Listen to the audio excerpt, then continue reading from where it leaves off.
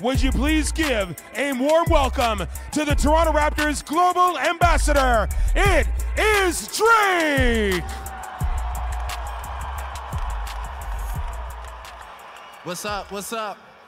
I just want to uh, I want to thank everybody from the city for coming out tonight.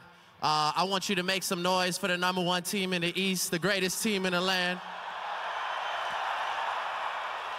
Um, if you notice, if you notice on the back of your chairs tonight, there was a T-shirt that was specially made for you with all the Toronto teams. You know, Toronto is the greatest city in the world, so I wanted to bring everybody together, give everybody a. That's right give everybody an opportunity to represent for, uh, for everything that we're proud of. I love each and every one of you. I'm happy to be home. I'm working on this new album for the city. And tonight, yeah, that's right. And, and, and by the looks of it, tonight this win streak is over. So let's go get it. Yeah. Ladies and gentlemen, let's hear it for Drake.